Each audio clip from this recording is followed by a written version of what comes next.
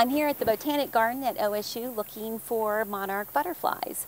Um, it's been an interesting year for the monarch migration, especially if you compare it to uh, the past recent years, so uh, perhaps since 2015. Um, so the migration has been late in previous years. Um, uh, warm temperatures in the upper Midwest slowed the migration, so we didn't have monarchs here well into October, um, and the migration kind of trailed out um, and lasted for quite a long time. Uh, this year was different. There were cooler temperatures um, up uh, farther north, and so the migration moved through very quickly.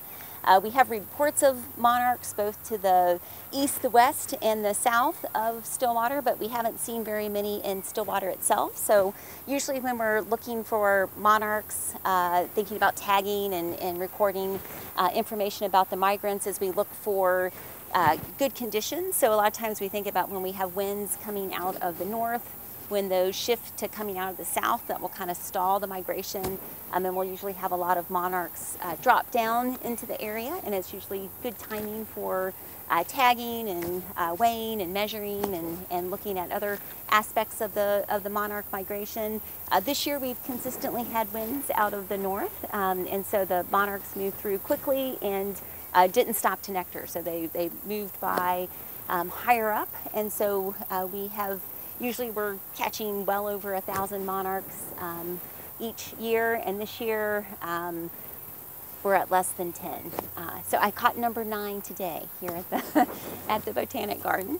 Um, and so uh, interesting year, but hopefully a good sign for the monarch population um, in terms of them making it to Mexico earlier. Um, and then more of them uh, making it through that migration um, and uh, hopefully doing well over the winter, but, but time will tell.